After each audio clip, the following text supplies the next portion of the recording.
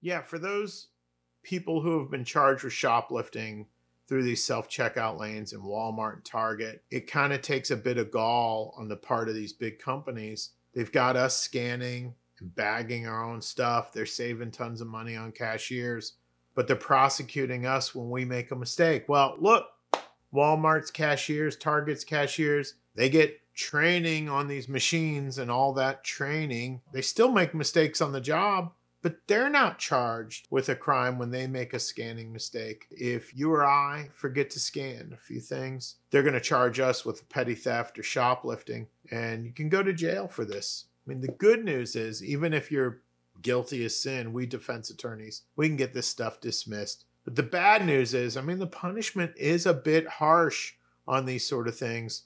I And you face jail time. I doubt you're going to jail on this. So I would not worry about that. Do not lose any sleep.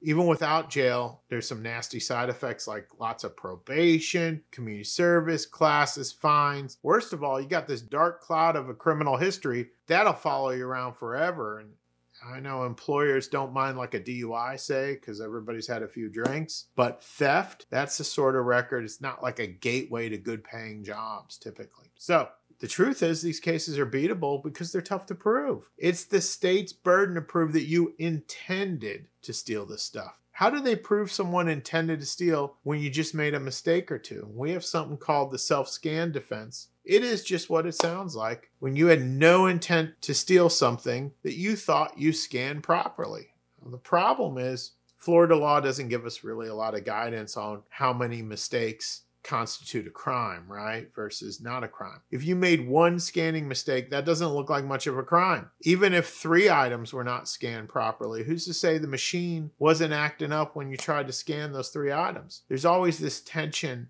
in a petit theft case, right? Between where's the line for a crime and human error and even machine error. In general, the more items you've legitimately bought, the less likely it is you've committed crime. If you walk into Walmart and you bought over 250 things, but you didn't scan three items, it's probably not a crime. But if you bought seven items and you forgot to scan three, you, you probably got a petit theft right there. Anyway, I mean, the great news is that we defense attorneys, we we've got so many options on charges like this to get them dismissed. So I don't want you to get too down on yourself for making a mistake, whatever sort of mistake it turns out to be. I mean, stuff happens, but we can fix it. So it's not a problem. We can even erase the criminal history when all's said and done.